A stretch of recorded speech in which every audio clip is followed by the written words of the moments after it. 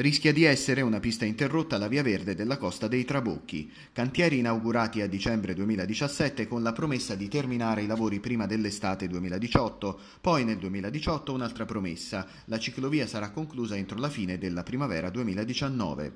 Ma il trascorrere delle settimane insinua dubbi sulla reale possibilità di veder completata in breve tempo l'opera pubblica attesa da oltre un decennio. 42 km di pista ciclopedonale da Ortona a San Salvo per lanciare definitivamente la nuova destinazione turistica abruzzese, la Costa dei Trabocchi, mare, spiagge, scogliere e sport. A lanciare l'ultimo allarme in ordine di tempo è stato, nei giorni scorsi, il sindaco di Casalbordino, Filippo Marinucci, in occasione del sopralluogo del presidente della regione Abruzzo, Marco Marsilio, sul litorale casalese flagellato dall'erosione. Ho ribadito, ha detto il primo cittadino, la necessità delle risorse che mancano per il tratto di Via Verde della Costa dei Trabocchi che passa per Casalbordino, unico comune in cui la ferrovia non è stata arretrata e non esistono le somme necessarie a realizzare la ciclovia.